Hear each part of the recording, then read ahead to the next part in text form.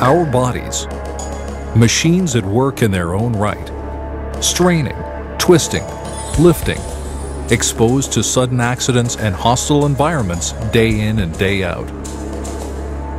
But what happens when it becomes too much? The ravages of occupational injury and illness become worse when employers refuse to accommodate the needs of workers attempting to rejoin the labor force. I was taken to the hospital as a code for uh, life-threatening injuries, unknown if they would have to amputate my legs or anything. And there the ambulance came and took me to the hospital. Pulled an anterior groin muscle in my lower left quadrant and uh, I was unable to do that job anymore. I fell on, on steps at work and injured my neck and my shoulder. I was a letter carrier. Um, I've carried mail for 14 years and then I developed uh, arthritis.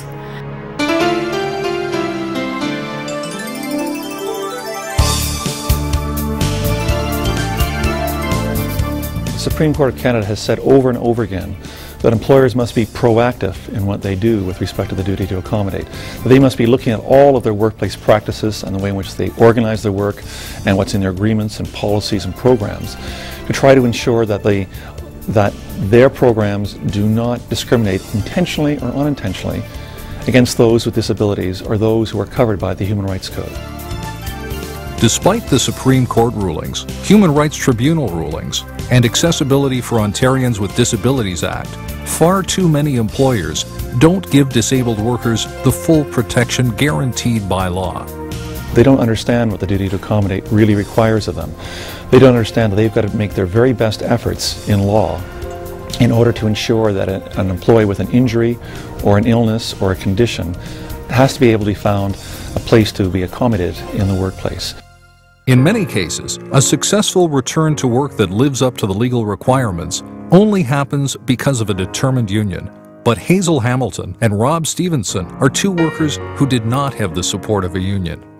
I was going into work, enter inside, and I, I slide right at the front inside the building, and I twist my back. I heard like something go like this click in my back and right away my leg was stiff and I couldn't move. Each time I tried to do something, the pain was more severe and I was crying and another worker took a chair and put me on and they push me to the sick room and they call the ambulance. They determinate me. And uh, under their condition, they said they have no job for me. Because I was just out of school, young and naive at the time, I did not know much what to do, but my employers and WCB at the time said they would take care of me. So I believed them. Everybody found out my legs were not broken. They didn't even realize is I could not walk at all. I was lied to, cheated, backstabbed. Um, it drove me to the point where I was a violent person, angry, and anytime I would mention uh, my past employer's name or WCB at the time, I would start becoming angry and violent. I had to be taken to a psychologist for anger management and everything. Unfortunately, Rob's employer terminated him from his job. But it doesn't have to be that way. It is possible to successfully return to work after an injury. Modifications can be made to the work area or to the job itself. In many cases, compensation activists have teamed up with health and safety committees to support workers in this transition. I had a battle to get a place inside the post office. It's not been an easy fight. Corporations and businesses don't want to spend any money on accessibility, making their work environment accessible. And unions at that time were just learning what their responsibilities around duty to accommodate were. The uh, corporation didn't want to um, continue my employment. An arbitrator ruled that um, they had to find me a job, and I ended up being a clerk. It works out very well, actually. I quite like my job, and um, I can do my job. It ended up being fine, but it was a long haul. You don't know what's in your future, it could happen to anybody.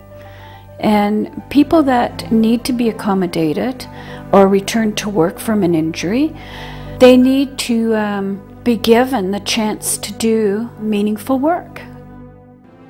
I pick up bag, a box of chicken like we always did, and my back started to hurt like it was sort of numb and, and hurting.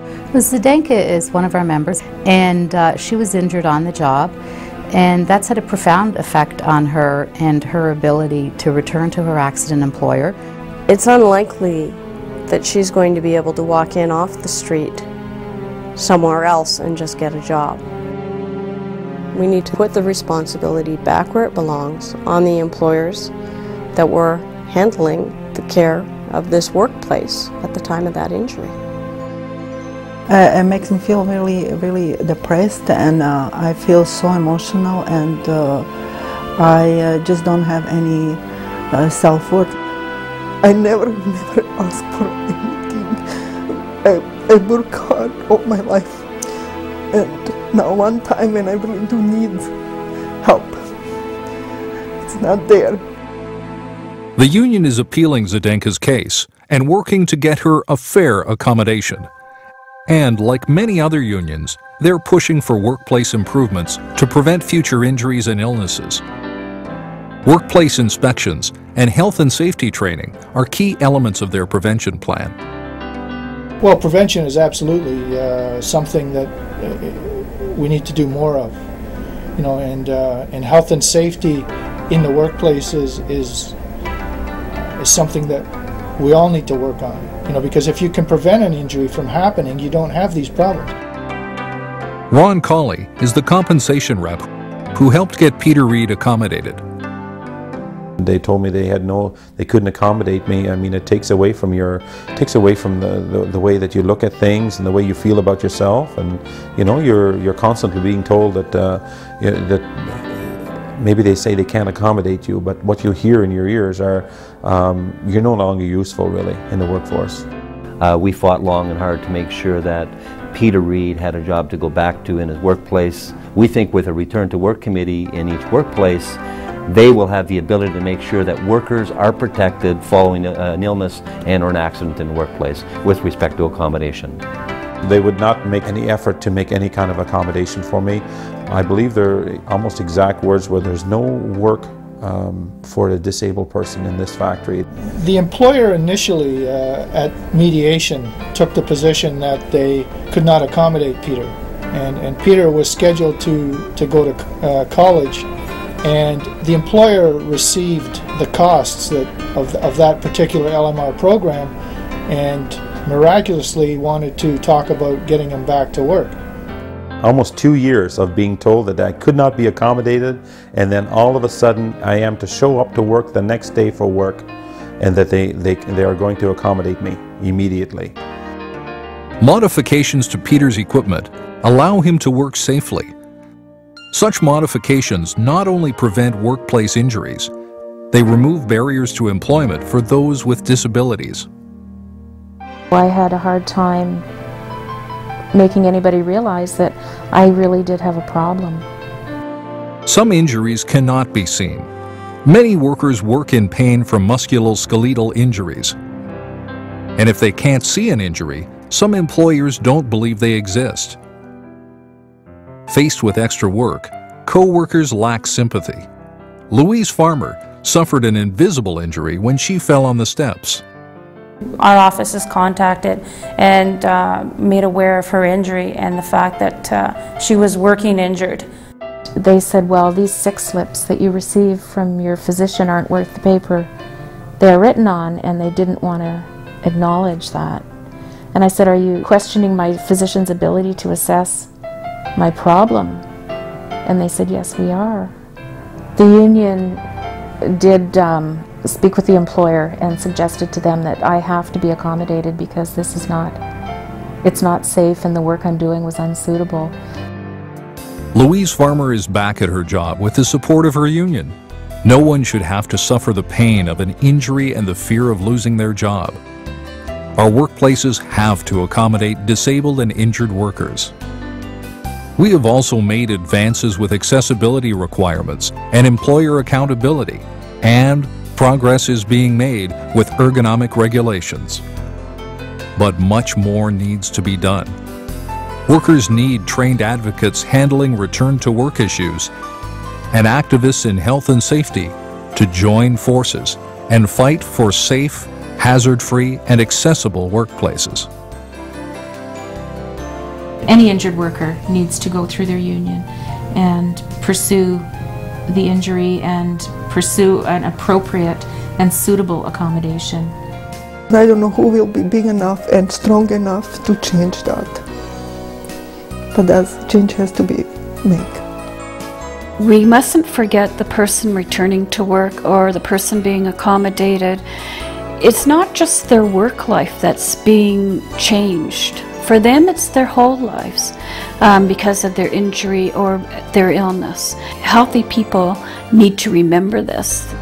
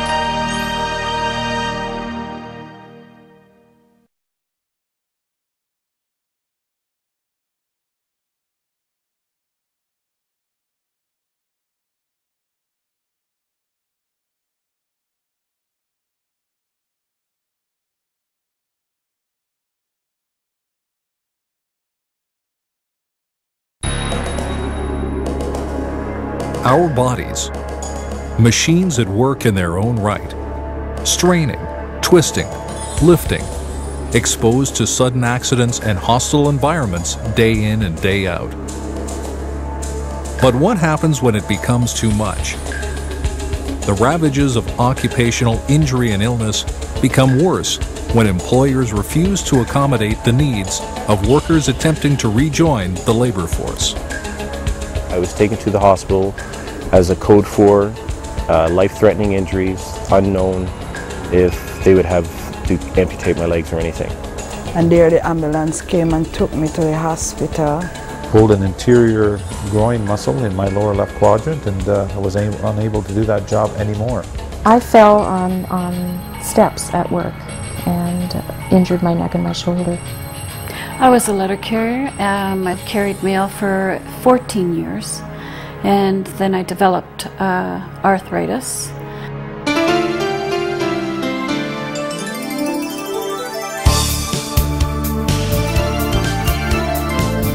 The Supreme Court of Canada has said over and over again that employers must be proactive in what they do with respect to the duty to accommodate. They must be looking at all of their workplace practices and the way in which they organize their work and what's in their agreements and policies and programs to try to ensure that they that their programs do not discriminate intentionally or unintentionally against those with disabilities or those who are covered by the Human Rights Code. Despite the Supreme Court rulings, Human Rights Tribunal rulings, and Accessibility for Ontarians with Disabilities Act, far too many employers don't give disabled workers the full protection guaranteed by law. They don't understand what the duty to accommodate really requires of them. They don't understand that they've got to make their very best efforts in law in order to ensure that an employee with an injury or an illness or a condition has to be able to be found a place to be accommodated in the workplace. In many cases, a successful return to work that lives up to the legal requirements only happens because of a determined union.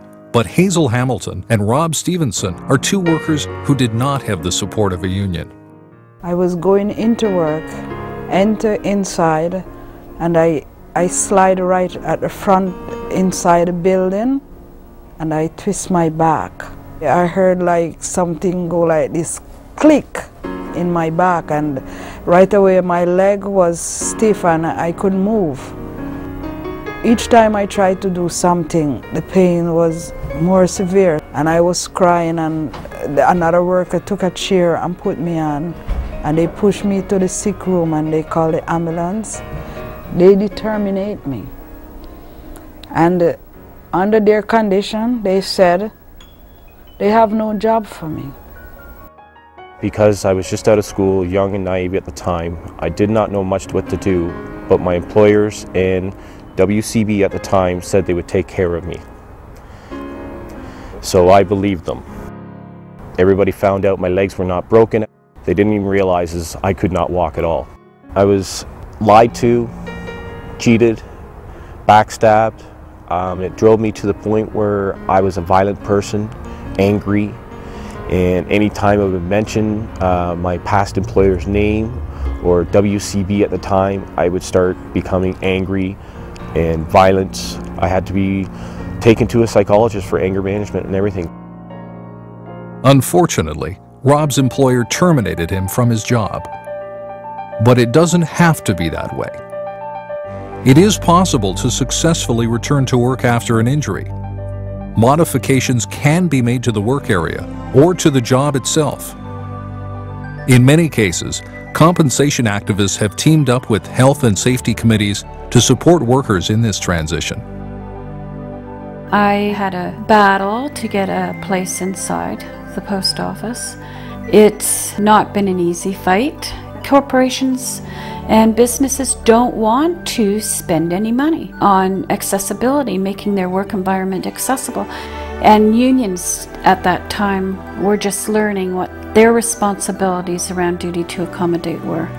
The uh, corporation didn't want to um, continue my employment.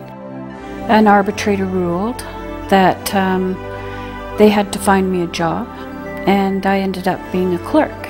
It works out very well, actually. I quite like my job, and um, I can do my job. It ended up being fine, but it was a long haul. You don't know what's in your future, it could happen to anybody. And people that need to be accommodated or return to work from an injury, they need to um, be given the chance to do meaningful work. I pick up a box of chicken like we always did, and my back started to hurt, like it was sort of numb and, then hurting. Well, Zdenka is one of our members, and uh, she was injured on the job, and that's had a profound effect on her and her ability to return to her accident employer. It's unlikely that she's going to be able to walk in off the street somewhere else and just get a job. We need to put the responsibility back where it belongs on the employers that were handling the care of this workplace at the time of that injury. Uh, it makes me feel really, really depressed, and uh, I feel so emotional, and uh, I uh, just don't have any uh, self worth. I never, never ask for anything. I, I work hard all my life, and now one time when I really do need help, it's not there. The union is appealing Zdenka's case and working to get her a fair accommodation. And like many other unions, they're pushing for workplace improvements to prevent future injuries and illnesses. Workplace inspections and health and safety training are key elements of their prevention plan. Well, prevention is absolutely uh, something that uh, we need to do more of. You know, and uh, and health and safety in the workplace is is is something that we all need to work on. You know, because if you can prevent an injury from happening, you don't have these problems. Ron Colley is the compensation rep who helped get Peter Reed accommodated. They told me they had no, they couldn't accommodate me. I mean, it takes away from your, takes away from the, the, the, way that you look at things and the way you feel about yourself. And you know, you're you're constantly being told that uh, you know, that maybe they say they can't accommodate you, but what you hear in your ears are um, you're no longer useful really in the workforce. Uh, we fought long and hard to make sure that Peter Reed had a job to go back to in his workplace. We think with a return to work committee in each workplace, they will have the ability to make sure that workers are protected following a, an illness and or an accident in the workplace with respect to accommodation. They would not make any effort to make any kind of accommodation for me. I believe their almost exact words were there's no work um, for a disabled person in this factory. The employer initially uh, at mediation took the position that they could not accommodate Peter. And, and Peter was scheduled to, to go to uh, college and the employer received the costs that, of, of that particular LMR program and miraculously wanted to talk about getting him back to work almost two years of being told that I could not be accommodated, and then all of a sudden I am to show up to work the next day for work, and that they, they, they are going to accommodate me immediately. Modifications to Peter's equipment allow him to work safely. Such modifications not only prevent workplace injuries, they remove barriers to employment for those with disabilities. I had a hard time making anybody realize that I really did have a problem. Some injuries cannot be seen. Many workers work in pain from musculoskeletal injuries. And if they can't see an injury, some employers don't believe they exist. Faced with extra work, co-workers lack sympathy. Louise Farmer suffered an invisible injury when she fell on the steps. Our office is contacted and uh, made aware of her injury and the fact that uh, she was working injured. They said, well, these sick slips that you receive from your physician aren't worth the paper they're written on, and they didn't want to acknowledge that. And I said, are you questioning my physician's ability to assess my problem? And they said, yes, we are. The union did um, speak with the employer and suggested to them that I have to be accommodated because this is not, it's not safe and the work I'm doing was unsuitable. Louise Farmer is back at her job with the support of her union. No one should have to suffer the pain of an injury and the fear of losing their job. Our workplaces have to accommodate disabled and injured workers. We have also made advances with accessibility requirements and employer accountability and Progress is being made with ergonomic regulations.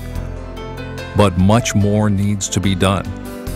Workers need trained advocates handling return to work issues and activists in health and safety to join forces and fight for safe, hazard-free, and accessible workplaces.